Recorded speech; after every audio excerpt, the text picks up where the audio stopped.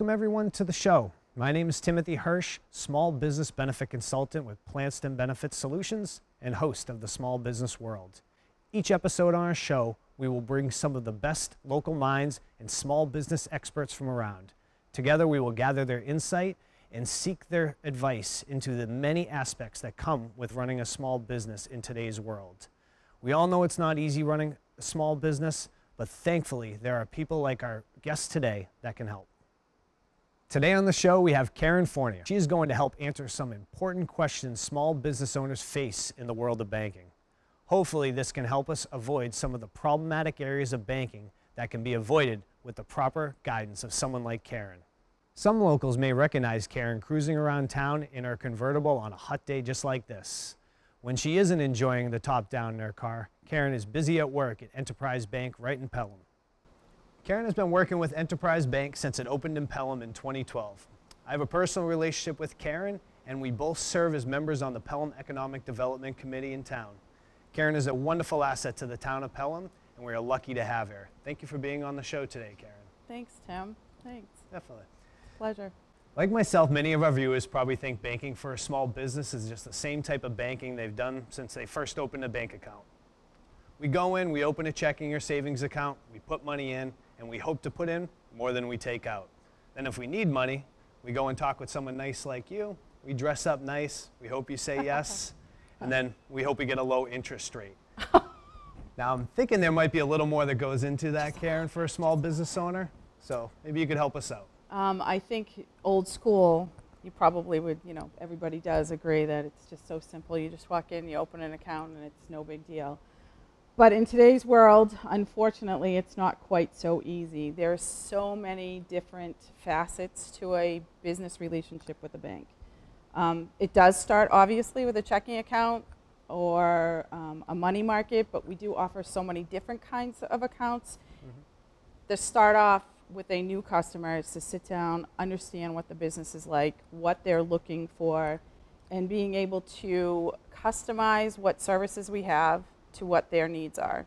Mm-hmm. And as they evolve, because obviously they are sometimes they're new businesses that come in, so they don't know what they're going to need or how successful or not successful they're going to end up in their business. So we start off slow mm-hmm. and we'll then add services that we believe that would be beneficial for them. Cash management, that includes credit card processing, um, ACH, um, express deposit, which means they don't even have to come into the bank to make a deposit. We give them a machine and it just gets swiped through. Convenient. It's very convenient. Um, we do customize pretty much everything to the customer and what their needs are.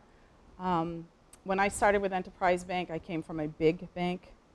So coming to something smaller, was very eye-opening. Um, we are very hands-on. Customers actually have my cell phone number. Mm-hmm. Um, it's always they're always going to get a phone call back. We have two rules. We have what's called the sundown rule. If a customer calls before three o'clock one day, it is our responsibility to get back to them before we leave that end of the day. If they get in touch with us after three, we have to get in touch with them by the next morning. I'm sure a small business owner appreciates It It is, I mean, and they, it's always somebody to talk to. Mm-hmm. You can call the branch, you call directly to my office. If I'm not there, I have staff that will answer the phone. I have a cell phone that actually is attached to my email, so if anybody needs to get in touch with me, they can just email me customer information and I can get back to them no matter where I am.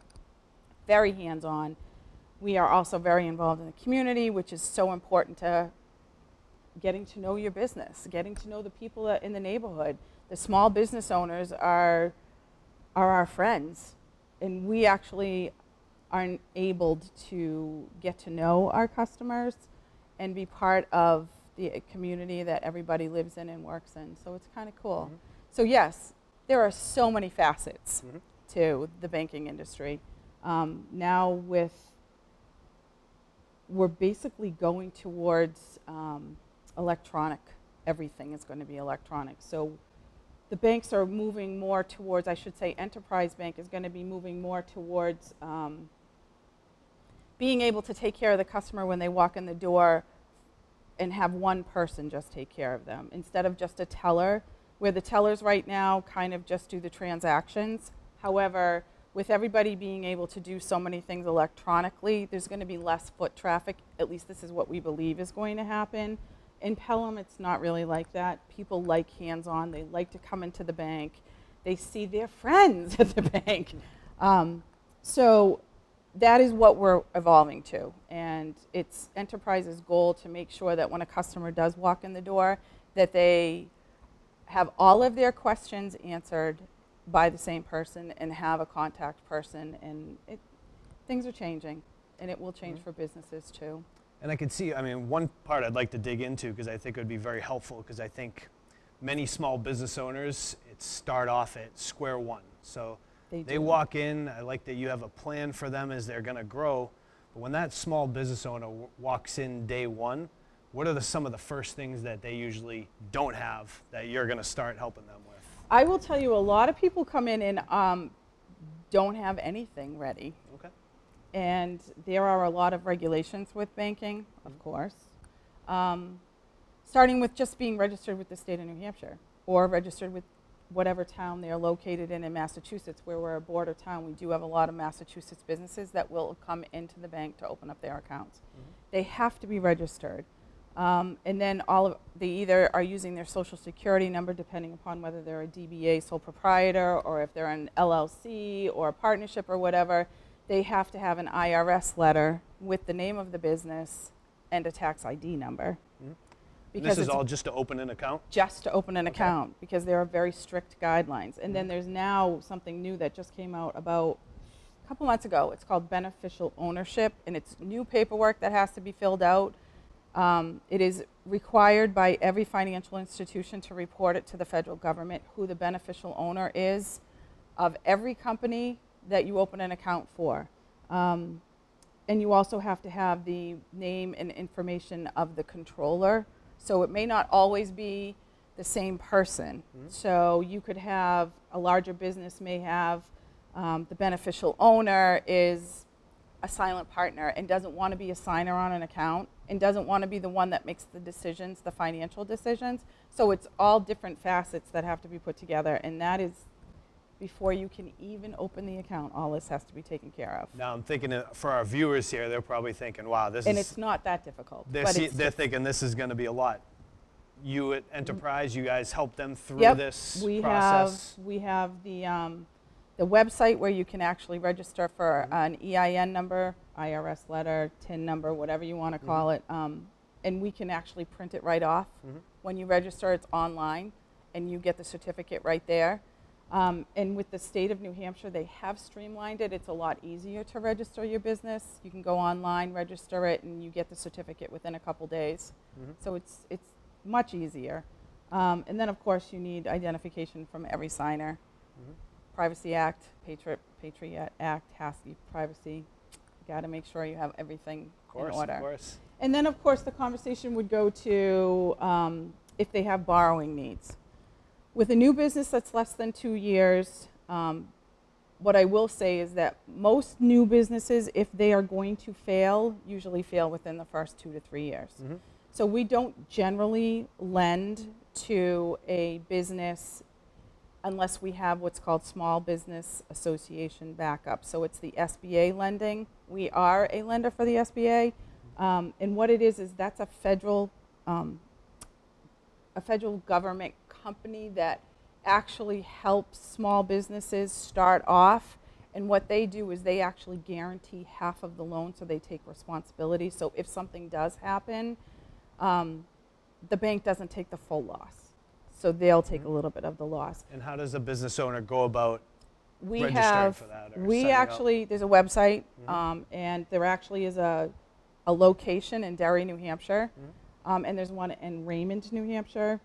They are so knowledgeable about startup businesses. They will take you from begin the business plan right up to getting an account open, to lending needs, to how to structure your business to make it work for you, and very knowledgeable people.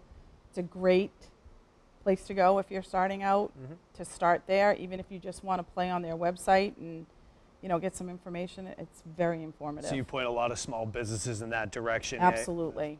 Nice. especially if they need lending. I mean, Mhm. an account is one thing. Um, we're not at a loss really with an account. We're there to help them with their basic financial needs when it comes to an account and the things that the bank itself can offer. But lending, yeah, they if they don't have the collateral to back it up to start a business, you really need help and you need to go to the right place, and that's what they do. Okay. So So definitely talking to one audience that we have here, and that's that starting out new business, you know, that maybe he's been in business less than two years. But I'm sure you see a lot of, I mean, especially in Pelham, there's a, just a lot of small businesses, one-man shops. tons of them. What are some of like the biggest, I want to say mistakes, but kind of errors you've seen in someone who's maybe had their banking done for two or three years at possibly a different bank and never really put the time and effort into it, but now they come to see you. What do they, Well, where have they come short? I will tell you, a lot of smaller businesses don't like to show a profit um, on their tax returns because then you have to pay taxes on it. I- I completely get it, and I I can say that I understand.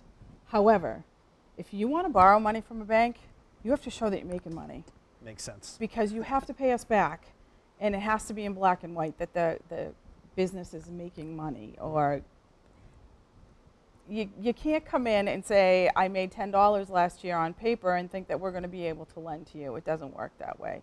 So I will say that some of the biggest mistakes that I have seen is that they don't show the income and are looking for a loan. And then people get upset. Mhm. And I, I get it, but that's what I have to tell them. Well, you know, you got to show some income. Come back next year. We'll try to take a look at it again. Um, that's one of the biggest things. Another thing is that a lot of small businesses don't. There's a million things that can go wrong. There really is. It, it can be anything from finances, not having the right person in the right place, run helping you run your finances on your business. Um, it can be your accounts receivable can set you back. Um, it can be marketing. You haven't marketed the marketing your company to sell yourself. There's it can be just about anything that can go wrong. But it's, if it's financial, it's definitely the fact that people don't want to show income, hmm Sounds like you've seen that quite a few ti times around especially town. with small businesses. But it also sounds like you point them in the right direction. Hey, this is what we need to do. Here's the action steps to get where you want to go. I try to have that conversation if it's a new business walking in the door, if they don't have borrowing needs immediately. I try to have that conversation that future. Mhm. If you think that you're going to expand or that's your goal, don't ever show a bad tax return. You have to have a good year behind you in order t- to be able to borrow. Mhm. I mean, even with the SBA, Mhm. they're gonna they're gonna require some type of a business plan or some kind of a profit. You can't borrow money on negative, It's and very- that's very everywhere. sensible, And it yeah. doesn't. It's anything, anything in your life. Now, when we look at some of the things that these businesses are not doing correctly, I mean, obviously walking in your door is a good step, but I'm thinking there there's probably more to Enterprise Bank than just loaning and savings and checking accounts that they can also utilize a bank for. We have a lot of different services that we can offer to not only businesses but consumers. Mhm. Right? We can start with, um, like I said, the cash management piece. That is huge when it comes to um, businesses that are growing. Mhm. ACH is an automatic clearinghouse, so a lot of transactions are If through. you what exactly is cash management? Okay, so well, that's what it that? is. It helps. This is a, a separate department, I should say, um, in the bank that specifically helps businesses with their cash flow, Mhm. how they can receive, send, um, process payroll, um, express deposits. Um, what else do we do? They, they can do international wires. You can have, this is all online access things, so Mhm. you don't necessarily have to walk into the branch to do some of these things. It's all set up so that you just sign in and you can do everything from your computer. Wow, that's enlightening. I would never thought bank, you know, accounts Amazing. receivable type type business there. That's definitely useful. Then we Probably also offer, um, we have obviously investment, which we can actually help small businesses with their 401k programs, whether they want it just for themselves or if they want to offer it to employees. Mhm. Um, we have someone specifically that does that with businesses. We also offer insurance. So, I mean, and it can be anything from a health program to for a small business to, I mean, we're competitive, but you know, we will even take a look at what someone has and make sure that they're utilizing everything they can. And if, if they're in a good place, we don't try to compete. We just want to make sure our customers are happy and are protected and that they offer to their, their employees and themselves everything that they can get. I think they, I think a lot of people who are small business owners appreciate being able to go to one place One and place. you know use that face and I mean that's I think beyond what the scope of most people think of banking. I mean that's very very helpful to There's a know lot that of there's facets, A, yeah, a lot of stuff that you can do there. Yep. That's yep. very helpful. And I mean, I've been in, I have been in the banking industry a very long time, Mhm. and things change all the time.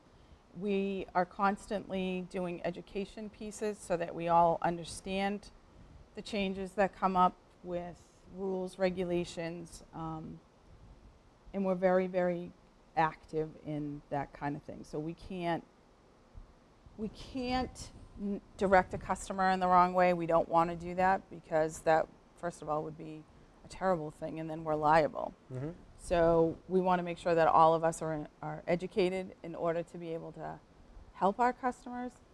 We also, um, not only if, are we available as a person to the customers themselves, every department in the bank, Mhm. If you call, someone will pick up the phone. So if I don't have an answer for you, I can get an answer for you. It's kind of amazing, I'm telling you, coming from a big bank, this just does not happen anywhere else. So you find a different, completely different experience in the big bank versus the yes. community bank, as I like to call you guys. If- We are a commercial bank. Mhm. Um, we have the lending capability up over 50 million Mhm. for one individual company per se. Um, but it's personalized service is what it is. And like I said, we can customize things to make their banking experience the best it can be and to help their business grow.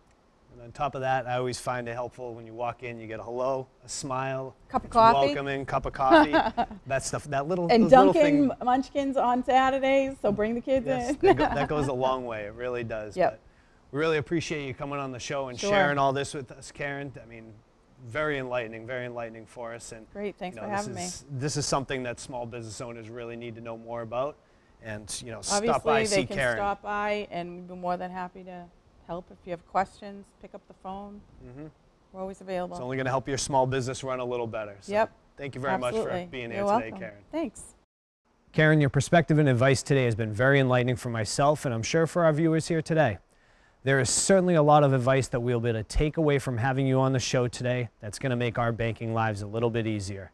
Now, to our audience, tune in next time and we will bring on another local expert to provide the views and expertise in the small business world. My name is Timothy Hirsch. This is the Small Business World, and we appreciate you watching today.